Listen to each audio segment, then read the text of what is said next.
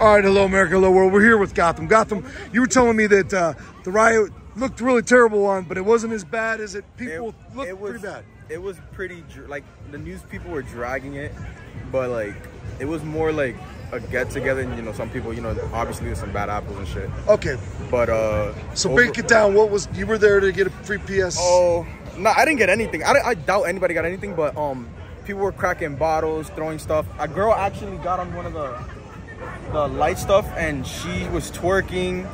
They were throwing footballs. It was it was crazy. It was like it was like okay. who, who was the artist? uh, Kai Cenat. That's who you were here to Yeah, see. he's a famous streamer. He was coming here to. Why did stuff. everybody get mad? Tell everybody what happened.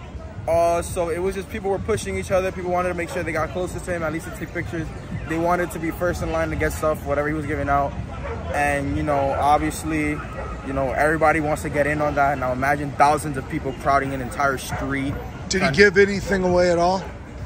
I'm guessing he didn't because it was Oh. so bad. Is it true? Is did he get arrested? Is he arrested right Um, now? one of his friends, one of the members of AMP, Duke Dennis, he got arrested, but uh, Kai just got pushed aside.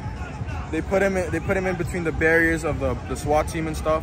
So they were just speaking to him. They told him like, you know, you're cause you're basically causing a disturbance and like you know gotta shut this down. So he was literally here for 15, 20 minutes. You know, he was saying hi to people, and you know after that, like everybody left. The police started breaking up batons, so we all Did you started- get hurt at all? no, no, no, no. Um, people started running. You know, we actually that street right there. We ran down that entire block. Like 300 people ran down that block Okay. because the cops were fighting people. A couple people got arrested. Somebody, 65 people is what they're saying. Yeah, 65. Half of them uh, under 18. Yeah, because they were they were throwing bottles at the police. One of them actually, uh, one of the cops actually saw who threw a bottle at them and arrested them. Okay. Even like within the crowd, like they, they, it was one of the people standing with the barrier, and it was just it was really bad. It was. Were you scared? Not really. I because I knew how to get out of there if it got too hectic. right. Hey, thank you for your time, man. I'm Jeffrey Bradac from TikTok. Make sure you follow me.